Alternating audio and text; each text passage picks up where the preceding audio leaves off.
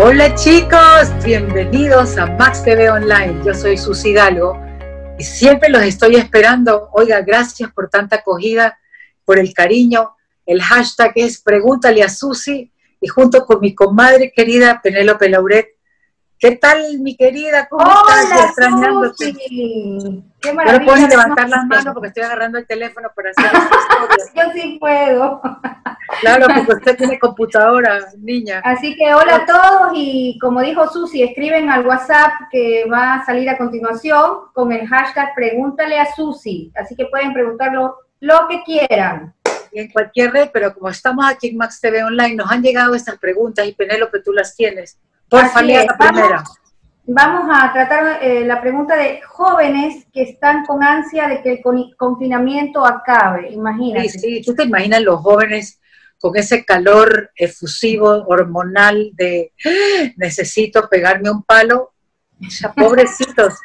Y no este solamente eso, sino salir. O sea, eh, mucha gente me dice, yo estaba acostumbrado a salir, a, hablarme con mis amigos, ¿no? a aunque se fueran a otras casas, pero no lo pueden hacer, ¿no? Todos los días, todos los días, porque ya te hablo del mío que vive conmigo, que tiene 22, y ese trabajaba desde las ocho y media, nueve, llegaba a las nueve, y a las nueve y cuarto salía, y volvía a llegar a las dos. Claro. Doce y media, o sea, estas salidas son fundamentales para los jóvenes, pero no pueden ni salir peor, como tú dices, pegarse un palo. Porque como alguien me dijo, ¿sabes? Que me dijo un amigo, me dice, no, esto de que no me puedo abrazar tú porque tienes tu pareja, me dice, pero yo con quién, pues, ahora no puedo hacer nada.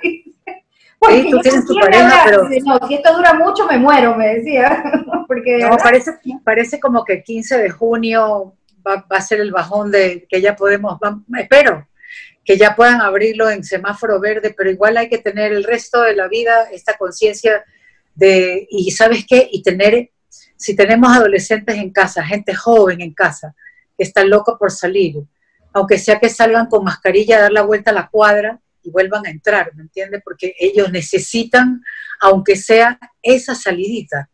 Y hay que tener que ya ahora se puede salir siempre y cuando se tengan los cuidados, salir con la mascarilla, eh, eh, y con el alcohol o con lo que sea que uno tenga para, para poderse proteger. Obviamente no nos vamos a estar abrazando, pero si mantenemos la distancia, podemos inclusive vernos. A mí me ha tocado ir a dejar cosas a alguien, entonces se las dejo, ¿no? No nos damos los abrazos, pero bueno, eh, pasa. Pero estos muchachos, la verdad, mi hijo, por ejemplo, que ya tiene 24 años, él en cambio no ha querido salir para nada, todo lo ha pedido servicio a domicilio. Pero sí, yo casi estoy segura que está desesperado por salir él es actor, entonces imagínate, todo lo han hecho online, ¿no? Las clases de actuación, pero no es lo mismo, como el otro día con alguien hablamos, creo que eh, decía un actor, que el teatro no es igual online que en presencia. Esa es la gran diferencia entre y el teatro. Entonces no hay realmente... Para Entonces sí, tengamos esa, esa misericordia infinita en el corazón con nuestros adolescentes, entendamos que a veces están harto mal genios, pero por miles de motivos pero no salir para ellos es mucho más duro que para nosotros que ya somos grandes. Así que no se olviden de preguntar todo lo que quieran. Es hashtag pregúntale a Susi.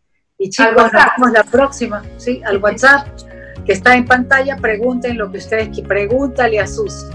Nos vemos la próxima, comadre. Ya, Susi, nos vemos. Después un abrazo. un abrazo. Chao, chicos.